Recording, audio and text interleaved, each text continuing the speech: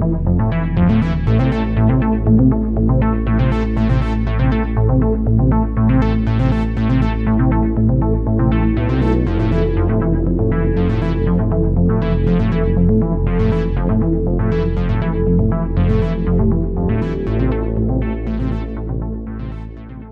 yıllarda Irak Hava Kuvvetleri'nin ana vurucu gücünü F-16 uçakları oluşturuyor. Bu F-16 uçaklarının ana merkezi de Balat Hava Üssü. Ancak son dönemlerde Irak'ta farklı hava üslerine, özellikle de Amerikalıların bulunduğu hava üslerine İran yanlısı grupların yoğun bir saldırısı var. Artan risk nedeniyle Amerika Birleşik Devletleri çoğu F-16'nın üreticisi Lockheed Martin personeli Balat üssündeki 70 personelini geri çekme kararı aldı. Bu personelin 50'si Amerika'ya doğrudan dönecek. Kalan 20'si ise Erbil'e geçerek Erbil'deki Amerikan üssündeki faaliyetlerine devam edecekler. Bu gelişmeler sonrasında İran F-16'ları uçurup uçuramayacağı ise en büyük soru işareti. Zaten düşük olan operasyon oranlarıyla bu ekibin geri dönmesinden sonra İran F-16'larını uçuramayacağı ifade ediliyor ve ortaya atılan iddialardan biri de İran F-16 uçakları yerine farklı bir savaş uçağı alacağı işte bu konuyla ilgili özellikle Rusya ile görüşmelerin yapıldığı yönde.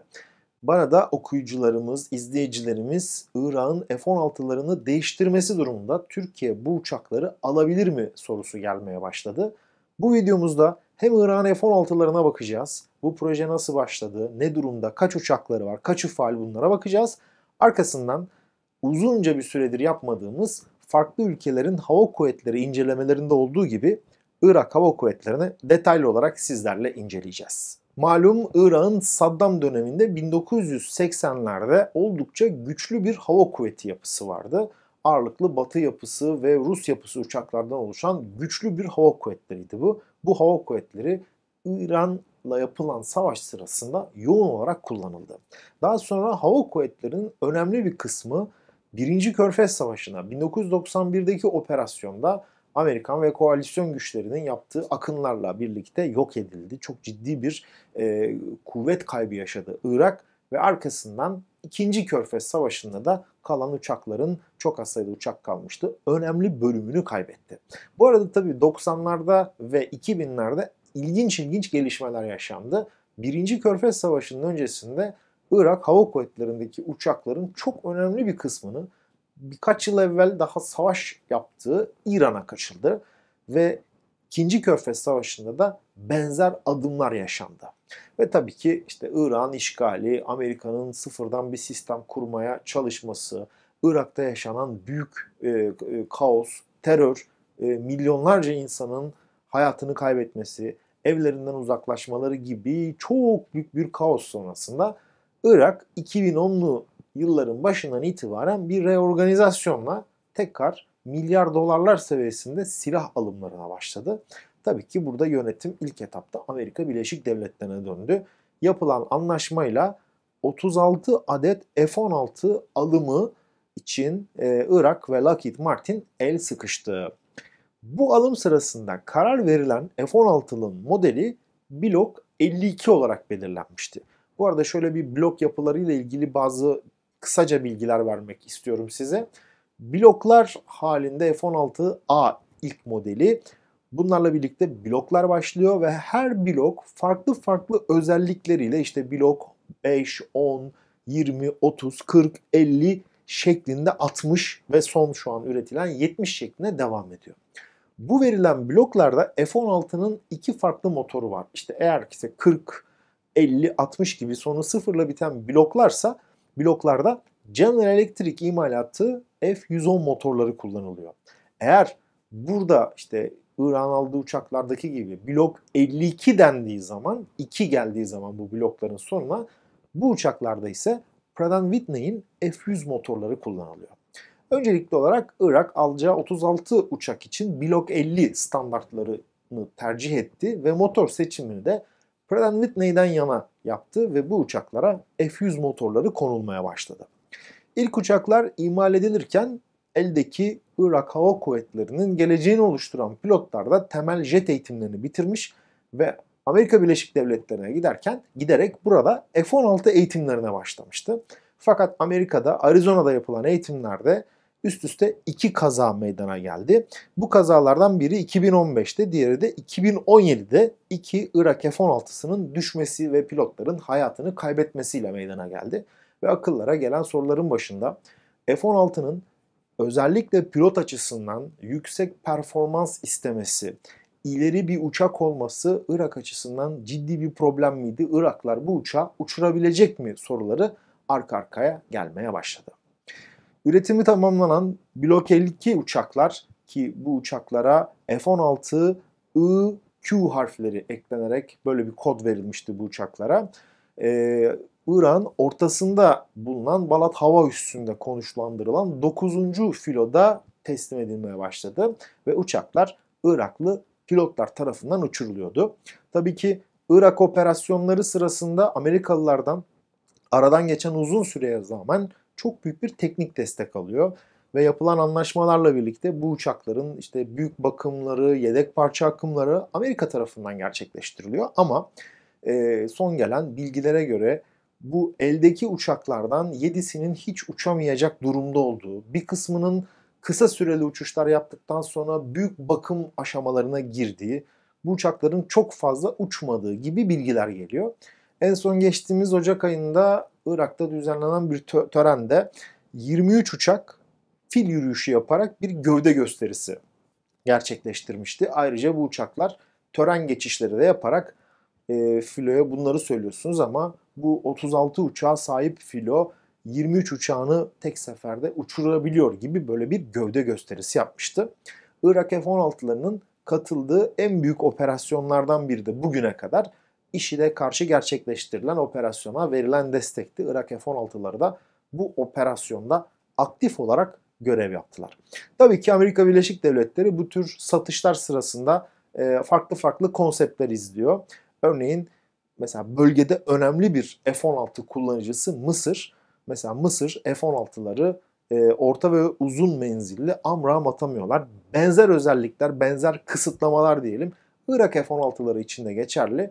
O uçakları hiçbir zaman Amram yüküyle göremiyoruz. Kullandıkları füzeler daha kısa ve orta mesafedeki AIM-9X Sidewinder hava hava füzeleri oluyor. Ancak e, özellikle lazer güdümlü e, mühimmatlar konusunda Amerika gerekli desteği Irak zamanında vermiş durumda. Ve tabii ki e, bana sorulan soru Irak F-16'ları Türkiye tarafından satın alınabilir mi? Bir silah anlaşması yapıldığı zaman iki ülke arasında gerçekten bu anlaşmada inanılmaz detaylar yer alıyor. E, bu uçaklar ikinci el satılabilir mi? Hangi ülkelere satılır? Hangi kurallar, kararlar sonrasında buna e, bu konuşulabilir gibi çok çok çok detaylı detaylı bilgiler var.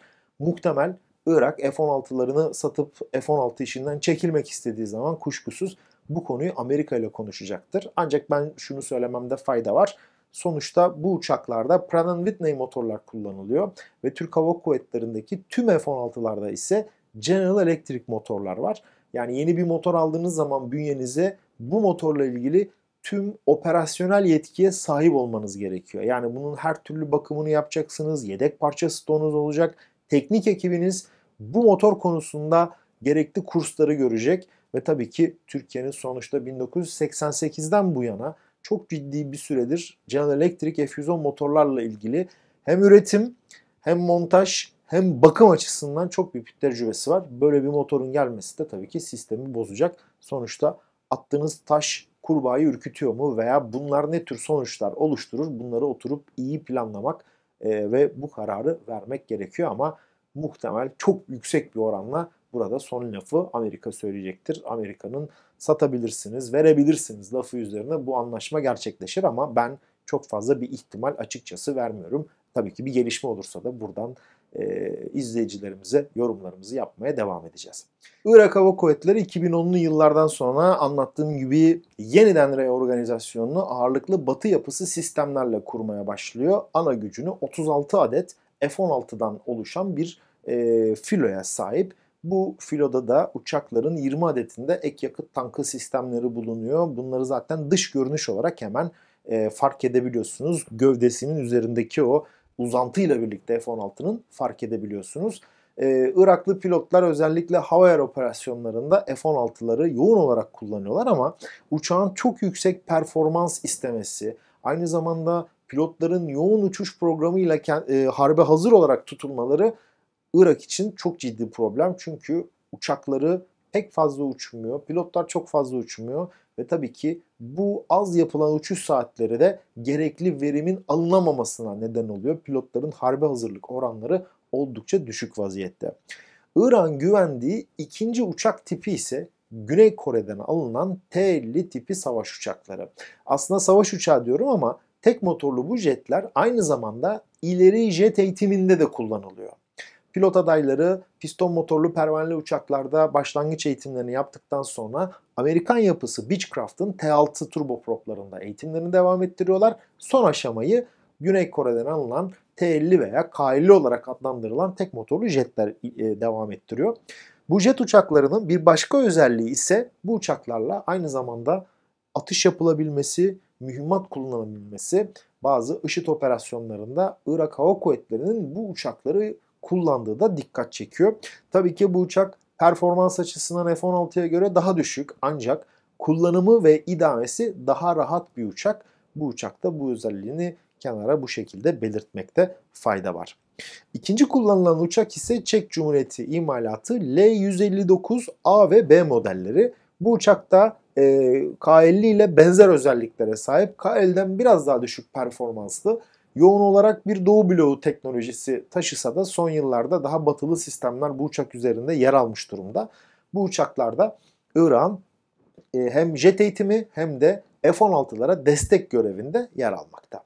Tabii ki bölgedeki birçok ülke gibi Irak'ta Rus yapısı Su-25'leri özellikle hava yer görevlerinde yoğun olarak kullanıyor. Su-25'lerden şu ana kadar envanterlerinde 21 adet var.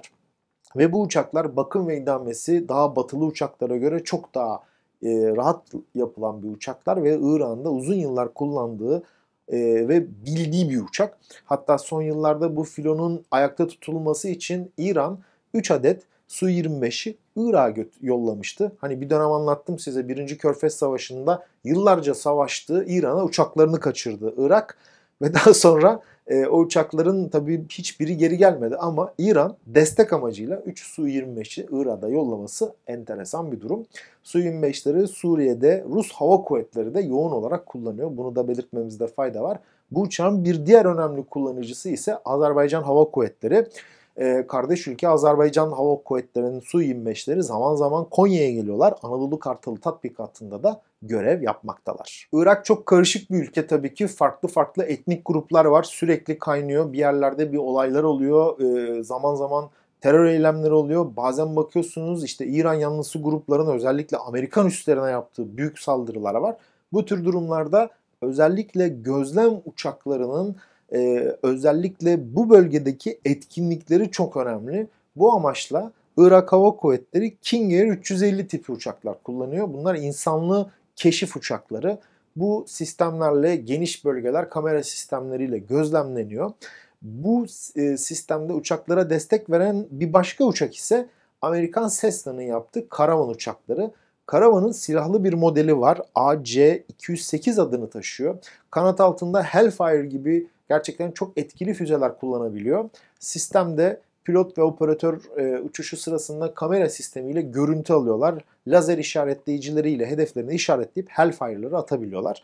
Tabii ki bu uçaklar yerden havaya omuzdan atılan e, füzelerin olmadığı bölgelerde kullanılabiliyor. Yoksa alçaktan uçtukları için çok rahat ve kolay bir hedef olduklarını belirtmemizde fayda var.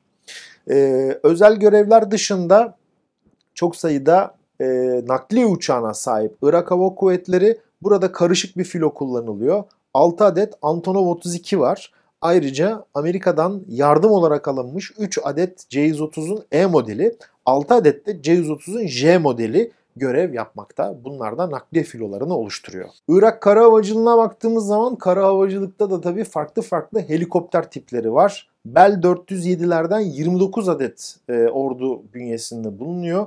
Avrupalı imalatçı Airbus'un H135 serisinden 20 adet, Rus yapısı Mi 8 ve 17 serisinden de 41 adet genel maksat amaçlı kullanılıyor.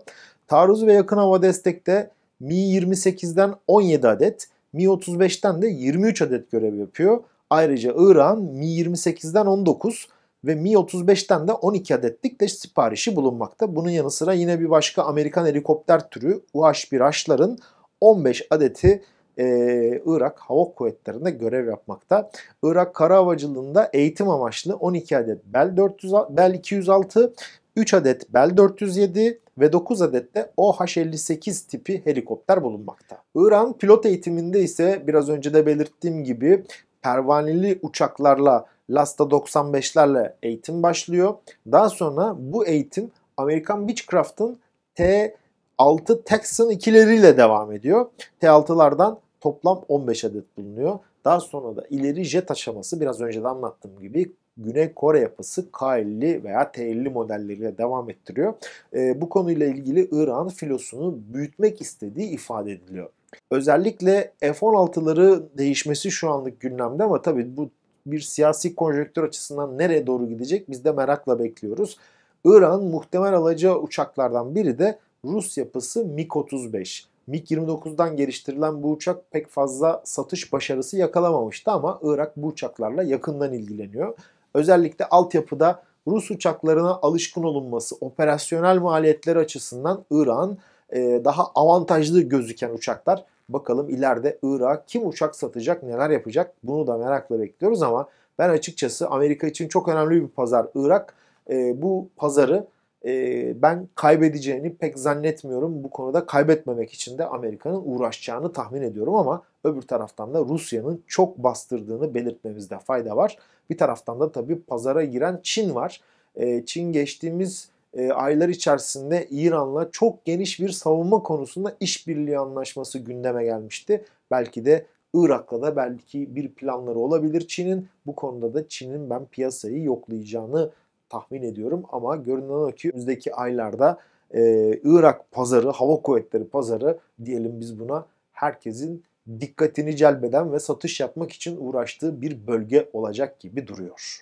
Bu videomuzda Irak Hava Kuvvetleri'nin yapısına beraber baktık. Biraz F-16'ları detaylı olarak inceledik. Kuvvet yapısıyla ilgili bilgi vermeye çalıştım size. Burada kullandığımız kaynak Flight Global tarafından her yıl hazır, hazırlanan Dünya Hava Kuvvetleri raporu.